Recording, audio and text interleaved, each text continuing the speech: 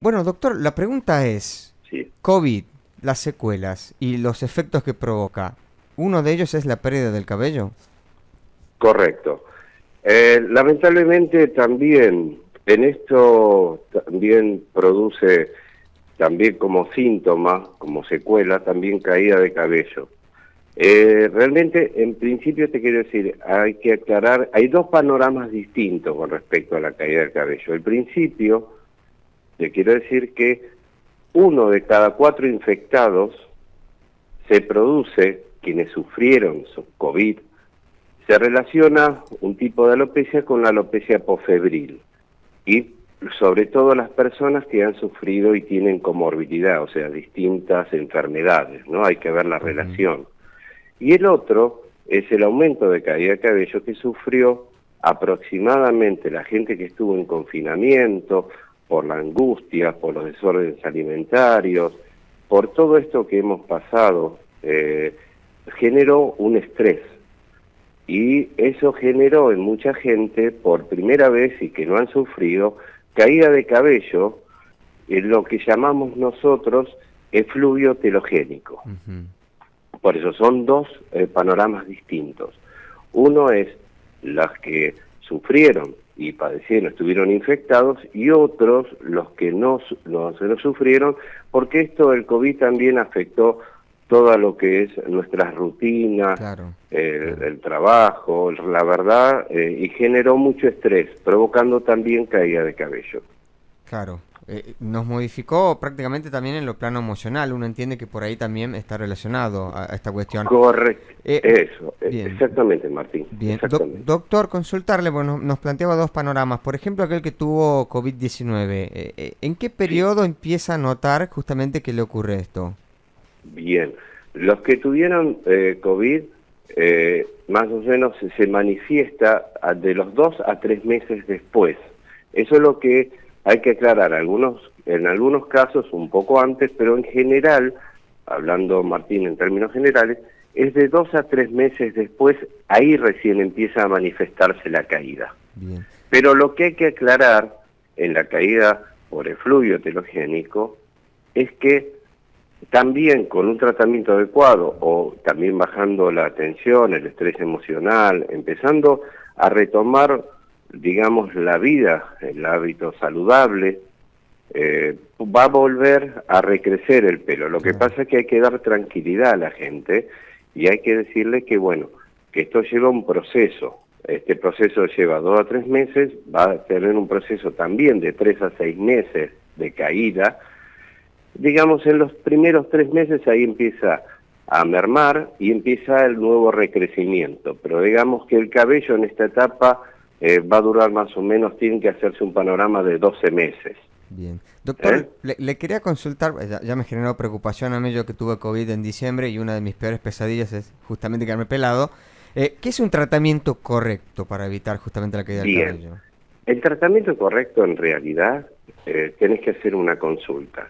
Hoy nosotros hemos tenido también, eh, Martín, muchas, mucho aumento de consultas. De hecho, por eso estamos trabajando mucho con teleconsultas, porque hay diversas en el anamnesis o digamos en todo lo que es, es, es, es chequear cada uno, porque cada caso es particular, Martín, porque vos podés tener una enfermedad que está relacionada también, o podés haber tomado algún medicamento, o también la falta de vitamina D, o sea, hay distintos factores, por eso en realidad lo más importante es ir a hacer una consulta, porque normalmente veo, lamentablemente, que por publicidad mucha gente sale a comprar un shampoo anticaída y con eso no va a resolver el problema, ¿entendés? Un shampoo, la función del shampoo es el lavado. Claro. Una vez que se desprende el cabello de raíz, el shampoo no lo va a volver a, a anclar nuevamente en la matriz pilosa, o sea, en el- la raíz del pelo. Bien. Ahora, doctor, me gustaría que aclaremos aquí porque usted mencionó lo que es el efluvio telógeno, que usted Sí, dijo se puede, telógeno. claro, es eh, caída del pelo que se puede recuperar. Ahora es diferente a la alopecia, que es la caída ya natural, digamos. Claro, hay, hay, por eso, eso es lo que te quería decir, Martín. Hay distintos tipos alopésicos. Lo que es importante en el diagnóstico, hacer un diagnóstico diferencial. O sea, ¿cuál es tu tipo de proceso? Porque vos tal vez poner, podés poder haber tenido o tener eh, un, tipo alopésico como una alopecia androgénica y en realidad esto se agrava por, por el COVID. Se ha agravado, depende si estabas haciendo un tratamiento o no y si no hay que comenzar a hacer un tratamiento. Los tratamientos en general son diversos y de acuerdo al tipo de caso se puede utilizar tanto así sea eh, eh, suplementos, se puede eh, ingresar también tratamientos con minoxidil, tratamientos, si, si es una alopecia androgénica, si estabas en tratamiento o si estaba en tratamiento, lo que hay que hacer es, continuar con el tratamiento y hacer una consulta nuevamente. Y si no, tendrías que hacer o tienen que hacer una consulta. Es lo que te digo, porque en realidad lo primero que hay que determinar, ¿cuál es tu tipo alopésico? O sea, ¿por qué se produjo? ¿Cuáles son los causales de la caída? Si es alopecia, el efluvio telogénico, bueno, con el efluvio telogénico lo que pasa es lo que te dije, después de los tres meses empieza eh, a, a mermar la caída, pero con un tratamiento lo que hay que hacer, se habla de los tratamientos anticaída y en realidad lo que hacemos nosotros es trabajar por el nuevo cabello. Digamos, en realidad no es anticaída, sino es procrecimiento. Entonces, una vez que se cayó ese pelo, tenemos que ver cuáles son los factores que necesita, tanto si sean nutricionales, de vitamina o terapia complementaria local. Hay diversas terapias complementarias local. Bueno, lo que hay que ver es qué necesita el caso específicamente y en base a eso realizar el tratamiento adecuado y específico al problema.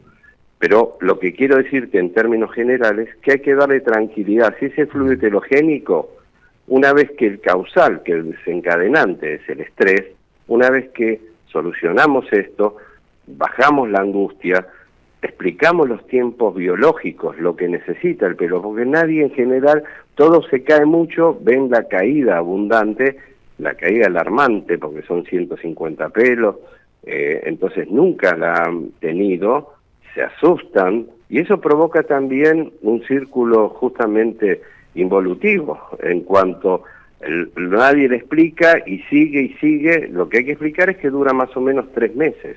Doctor, y después, el recrecimiento dura más o menos, hay que los recambios hasta un año. Justamente lo, lo, que está mencionando, esto de, la gran cantidad de, pelo que va a notar justamente la, persona, porque decir, a ver, normalmente uno este, va a perder pelo durante su vida cuando se baña, porque había mensajes de los oyentes que decían, mi hija pierde mucho pelo cada vez que se baña. Entonces, ¿cómo diferenciar esa cantidad de pelo a cuando es por un problema, por ejemplo, COVID, estrés, y necesita un tratamiento a lo normal?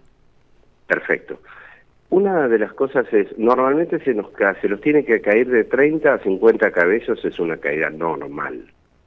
Siempre el cabello se cae, porque nosotros, como mamíferos evolucionados, perdimos el mecanismo, o sea, el sincronismo que tienen los mamíferos, los animales. Eh, cambian el pelo eh, para el verano y para el invierno, hacen un recambio de pelo. Nosotros se nos cae diariamente el cabello y en una época del año se cae un poquito más. Pero en realidad lo que hay que hacer en principio es, yo lo que aconsejo es por única vez, es que cuenten la cantidad de cabellos en el lavado. Entonces, si están en un promedio de 50 hasta 80, pero cuando esto supera los 100 pelos, ya se considera patológico, ya se considera que hay que hacer algo porque en teoría es más la caída que la reposición. Bien. Y además te quiero aclarar que lo importante en la caída del cabello no es que se te caigan 10 pelos, sino que se repongan los 10, ¿entendés? Claro. Porque hay gente que tiene poquito pelo, se le cae, se le cae, pero si a vos se te caen 5 pelos, tienes 10 pelos. Y tenemos muchas preguntas de la audiencia, doctor, que le queremos trasladar. Una de ellas es eh, la cuestión del sexo. ¿Influye algo en la caída del cabello? Es decir, nosotros decimos pérdida del cabello y pensamos inmediatamente los hombres la sufren más. ¿Esto es real? No, eh, en realidad hoy en estadística nosotros, eh, antes era más la mayor de la caída del cabello. El hombre tiene, por eso hay que ver el tipo alopésico, pero el hombre tiene en general una, una alopecia androgénica, está constituida por la genética, eh, se llama androcronogenética, pero la mujer también tiene alopecia androgénica. Entonces, eh, puede sufrir también la mujer caída de cabello. Es más, en este momento, debido a los malos hábitos, la tintura, el estrés, los desórdenes alimentarios, etcétera, han subido en estadística. Las mujeres en este momento, antes yo atendía, antes nosotros atendíamos un 70% de hombres y 30% de mujeres. Y hoy en realidad muchas veces superan las mujeres, están en un 60-40. Por eso eh, eh, lo que hay que ver es cuál es el origen del problema. Justo menciona el, tema de las mujeres, los tratamientos, las tinturas y demás.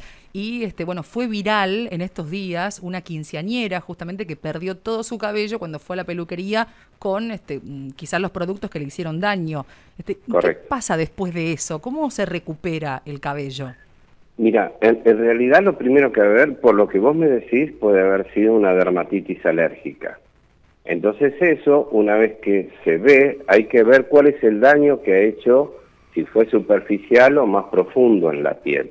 Acordate que la raíz, eh, bueno, yo les explico, la raíz está enclavada en el estrato dérmico, no está en el epidérmico, o sea, arriba.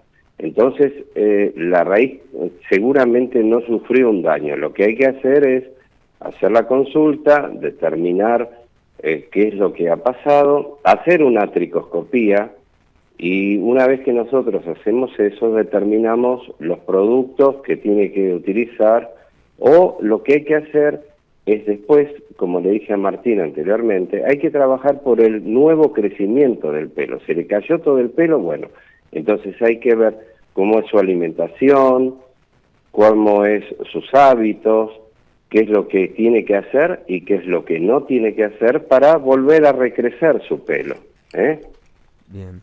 Doctor, no le queremos robar más tiempo, ya eh, vamos cerrando con esto, que es una de las preguntas que nos hace la audiencia.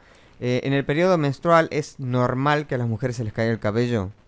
Sí, hay, en muchos casos las mujeres, o, como hay un cambio hormonal, la mujer tiene eh, un gran impacto en el tema hormonal en el cabello. Cuando el tema hormonal tiene un gran impacto en el cabello, entonces cuando se modifica produce caída de cabello y también hay que ver en, los periodos, si son abundantes también hay pérdida de hierro, que eso influye también en la caída del cabello.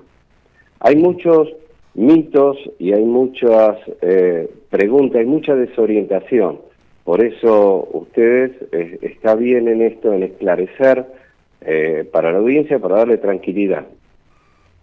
Bien. Doctor, bueno, muy amable por, por la paciencia que nos tuvo, por supuesto, por toda la información. Seguramente en algún momento vamos a tener la posibilidad de volver a hablar sobre este tema que la verdad que eh, nos interesa mucho. Bueno, eh, para mí también es un gusto esclarecer con su audiencia distintos temas relacionados con los problemas del cabello. Bien, que tenga un buen día.